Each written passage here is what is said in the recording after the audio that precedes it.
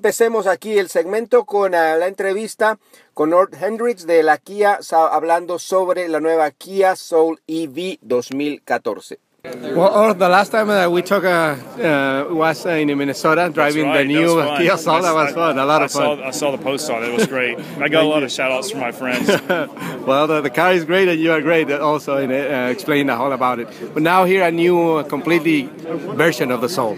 Right. We have a new EV version, electric vehicle version of the Soul. It's uh, very similar to the gas model from an appearance standpoint and utility standpoint, but of course, it's 100% electric. It doesn't have a gas engine in it at all. And uh, we're really excited about it. It's new technology for us. It's our first EV vehicle here in the U.S. Uh, the car we're showing is going to be a global car, so it'll be revealed. Uh, it's already out in Korea, and we're going to introduce it probably later in uh, Europe and other markets. So this is part of a, a, global strategy for us. Okay, and uh, for the U.S., it will start in the West Coast, uh, California. We're going to start in California and Oregon. That'll be starting this fall, and then Wave Two will be in the spring, the following year for the Northeast which will be New Jersey, New York, and also Maryland. Yeah, one, one of the things that, uh, I mean, like the Soul itself is, is, the regular one is really great. You're packaging a lot of things, navigation and all the things that are standard, and probably people will expect in this kind of car, right? That's right. I think for us, uh, because of the infrastructure of the EV uh, charging infrastructure is, is evolving, uh, navigation is key because we have one of our features is an app that will help you locate where the next charger is. So if you're out and about doing errands and you're stopping for lunch and you want to say, hey, well, why don't I plug it in while I'm stopped? You can have the navigation in the smartphone app help you find one of those locations. So it's a, it's a great feature. And because of that, we made navigation standard. Excellent. And uh, the, the technology in the battery is pretty, pretty advanced too, right? It is. This is a state of the art right now. I don't think anybody else in the marketplace is using lithium polymer battery, and it's uh, it's higher density, so it's a little bit smaller size.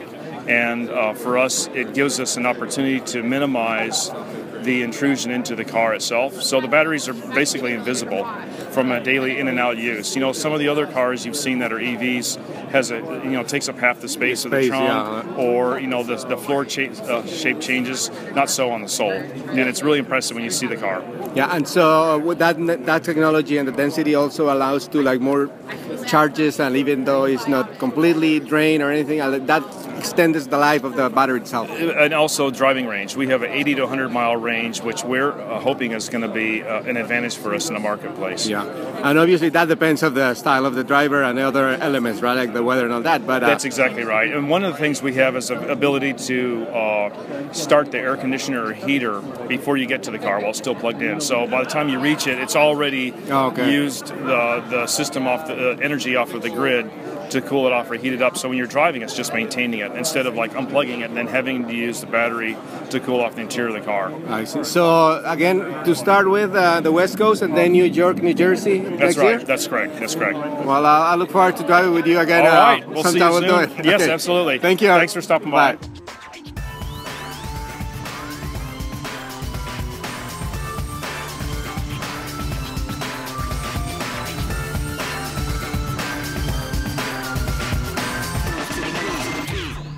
Este programa fue una producción de National Latino Broadcasting.